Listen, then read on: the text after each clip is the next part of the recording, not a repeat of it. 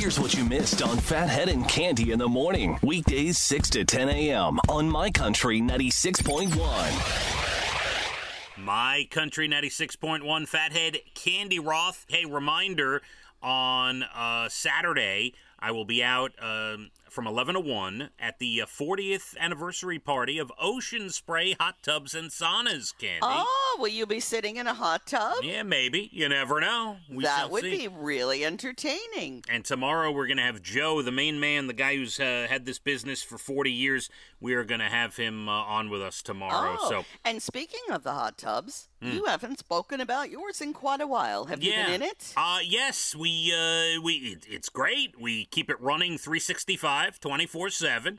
Uh, and it, it's in great condition and we use it. Now, I will say, uh, we use it a lot more from September, mid September to early June. Okay?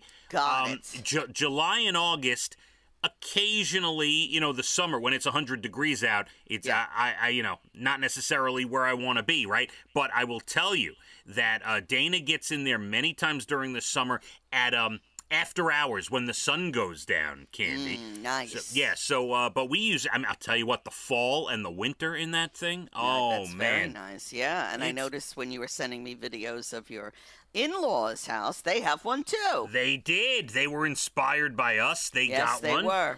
They did get one. By the way, more on my in-laws in just a second. They're Oh, uh, they're going to be part of our national days today, Cande. what? Yeah. Let well, let's go through a couple other things first. I was reading this story about a woman on TikTok says that her DoorDash delivery driver showed up uh, with her taco order, and not only was the seal of the bag broken, but it was missing a Dorito Loco taco.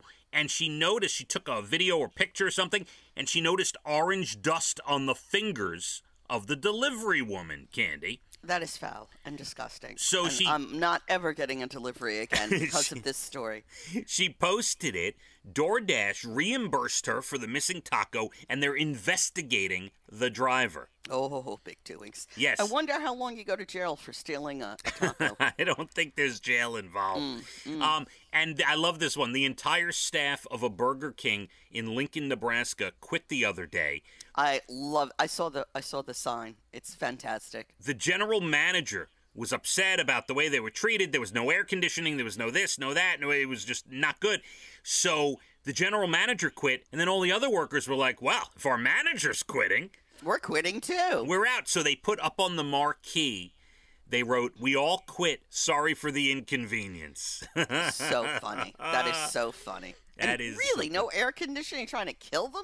that That's uh, it, not only bad, uh, it sounds illegal, honestly. Yeah, I mean that's dangerous. Yeah. The way we've been uh, heating up this summer. All right, let's get to these national days. Um, I did promise you uh, my in laws would be involved. It is na- National Delaware Day, Cande. Hey, we're loving us some Delaware. I'm We- telling you. we They've love- inspired me very much. Go look at Delaware. love Delaware. And I always like to tell people when we talk about it, they are because if you don't, we knew nothing about Delaware. Me and me and Dana knew nothing about Delaware. It's a very tiny state. It's we get from uh, one end to the other in an hour and a half. yeah, Just no, it's tiny. drive right through. Uh, but they live near some of the great beaches this country has to offer. Cande, it's amazing. Unbelievable. How did they know? How were they so smart? One of their friends from Long Island introduced them to the Ah, area. Now I see. Well, this is how the story goes. One of their friends introduced them to the area. They bought, you know, my in laws bought land, built the house, ended up in Delaware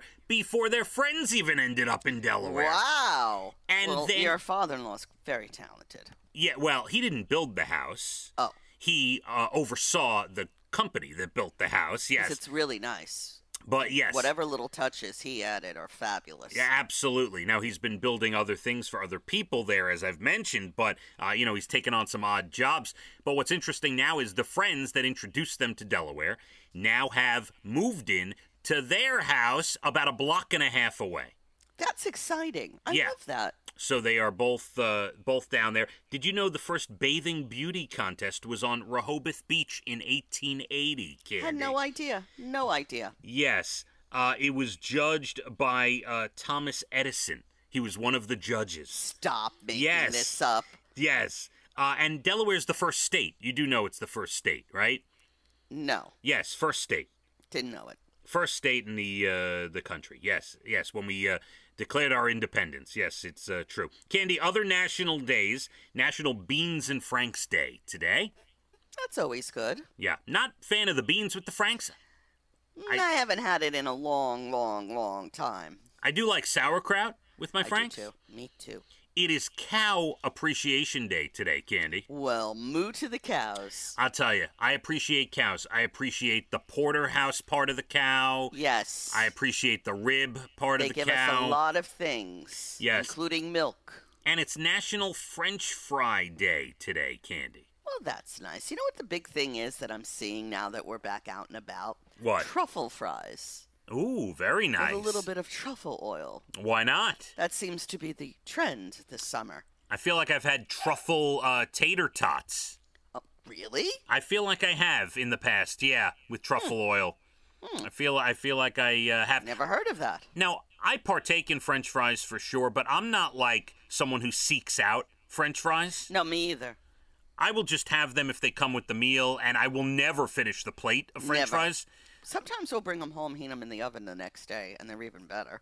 And I have to dip. I usually uh, I like to get some blue cheese Uh, or Brian thinks that uh, McDonald's have the best French fries. I don't necessarily agree with that. oh Brian, Brian. Yes, yes.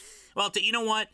If they come out hot with the right amount of salt, fine. If they've been sitting around and they get to you cold, Yeah. Not Oh, so much. Oh, no. Yeah. Uh, Cande, couple of nice uh, stories to end your day. Um, you're gonna you're gonna love this. A great gift idea. There's a video on Instagram of a woman unwrapping a baking dish, and she immediately cries. Why? Because at the bottom of this gift, in writing at the bottom of the dish, is her great grandmother's carrot cake recipe in the great grandmother's handwriting. Oh, wow. They took the paper recipe and they somehow got it like into the dish. You know what I mean? yes, I do. And it's written at the bottom of the dish. Isn't that a That nice gift? gift? a really priceless gift. I love that. Yes, and That's what I should have got you for your wedding. That would have been wonderful, yes.